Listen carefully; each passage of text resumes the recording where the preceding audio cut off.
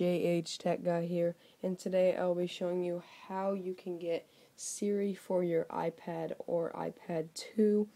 And to do this, we will need to go to our sources and add iHacks repo. The link for that will be in the description, but go to edit, add, and type in iHacks repo.com and click add source.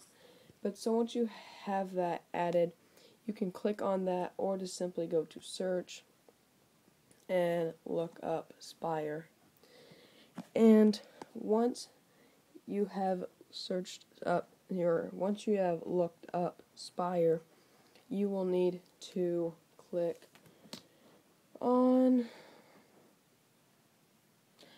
you will need to click on no, never mind. Scratch that. Go to iHacks repo. Go to the S's. Scroll and go to Spire for iPad and iPad 2 and you will ha- go to this page right here and now you want to click um, install and just a fair warning that this it will take a little bit to download, so be patient with it. I think mine took about 15 minutes, so don't expect a quick and clean download. This will take a little while. But so yeah, that the first thing that you'll need to know though is once you have downloaded it, go to settings and you need to go to general, click on Siri and make sure that Siri is on.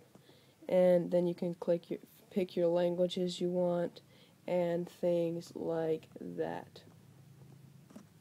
So um and then once you've done that, click on Spire and you will need to get a proxy host and currently I have not looked into getting one yet. If I do find one that is working, I will share that with you guys.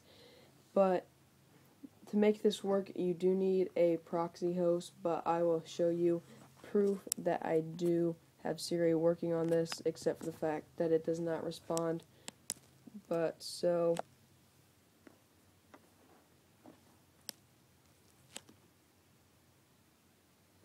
Siri not available. Connect to the internet. So we will go to, you know, so, yeah, you need a proxy host to be able to get this to work. But yeah, so this is pretty much how you can get Spire for your iPad to get for the possibility to get Siri for your iPad. The only thing is is you do need a proxy host.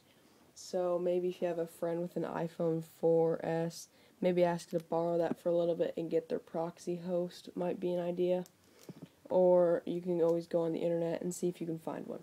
But so yeah, this is called Spire for iPad, iPad 2, and this will be available in the iHacks repo. And yeah, so everything you'll need to know, I'm pretty sure will be in the description, but just make sure you do get a proxy host. But yeah, this is JH Tech Guy here showing you how you can get Siri for your iPad or iPad 2. And don't forget to comment, rate, and subscribe for more great content. Thanks, guys.